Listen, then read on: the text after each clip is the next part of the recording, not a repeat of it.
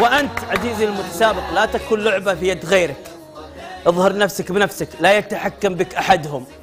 حتى يسمح لك بالمشاركة أو بعدم المشاركة. وراح يبان الذهب من عدسة. ثلاجات ما شاء الله. شكرا لك على هذه الدبة البايخة. شكرا أيها الدلة نشوفكم بكرة.